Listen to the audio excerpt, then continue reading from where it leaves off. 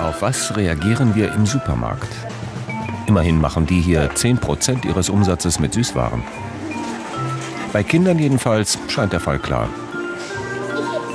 Sie interessieren sich nur für Süßigkeiten. Überall lockt Zucker, in Fruchtgummis, Keksen, Schokolade.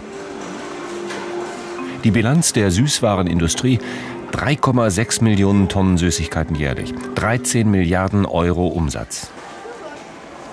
Und alles ist bunt verpackt, so wie es Kinder mögen.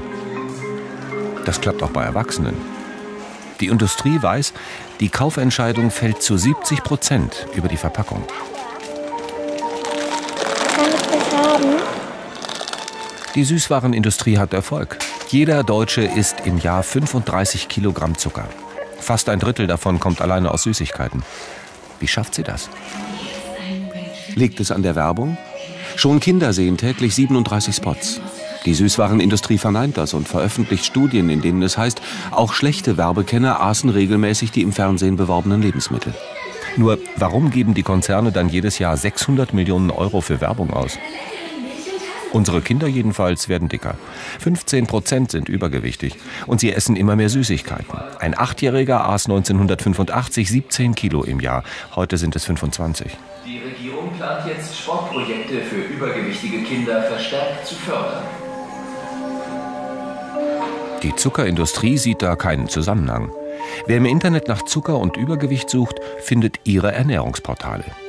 Dort steht, die Deutschen werden dicker, aber das liegt an mangelnder Bewegung. Auf keinen Fall am Zucker.